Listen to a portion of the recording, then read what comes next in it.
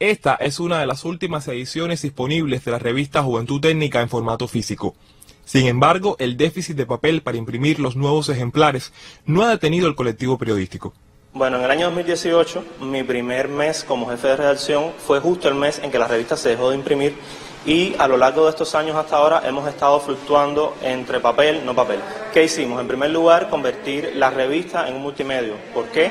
Porque si una revista es de ciencia, tecnología e innovación, no tiene mucho sentido que se quede anclada a patrones que tenemos establecidos de cómo debe ser la prensa.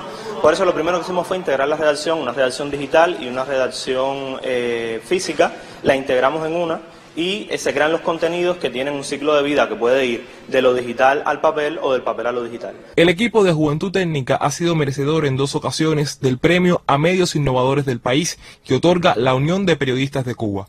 Un reconocimiento a la evolución constante. Hemos tratado de dinamizar al interior de la redacción la manera que tenemos de hacer periodismo y para esto hemos buscado algunas eh, técnicas que quizá trascienden a la mera actividad profesional, que tienen que ver quizá con la programación, eh, con la creación de nuevas plataformas, con el uso de herramientas externas que puedan automatizar de alguna manera el periodismo y toda esta serie de innovaciones son las que nos han eh, dado este premio durante dos años seguidos. Las dificultades no han impedido que Juventud Técnica continúe en el ejercicio de un periodismo serio, responsable y de alto impacto social, sobre todo en los últimos dos años de pandemia.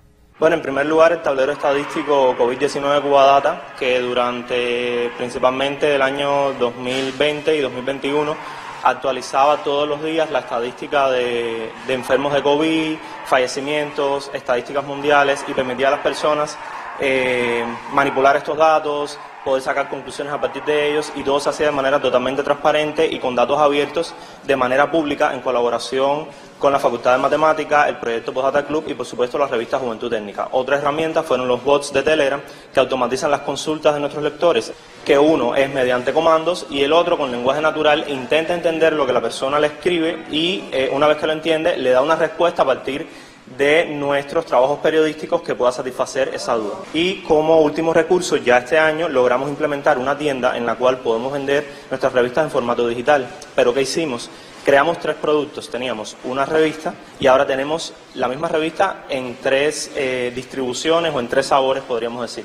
Está la revista tradicional, los monográficos, que son eh, números especiales dedicados a un tema específico, por ejemplo el cosmos, o ahora eh, las criptomonedas, o la JT Plus, que es una especie de revista más fresca con un diseño pensado para para leer directamente en el móvil. Y esta revista está enfocada en personas quizás de menor edad que el público que suele leer eh, Juventud Técnica de manera tradicional. Innovación en los medios de comunicación del país. La mejor manera de celebrar el Día de la Prensa Cubana. Osvaldo Pupo Gutiérrez, Sistema Informativo de la Televisión Cubana.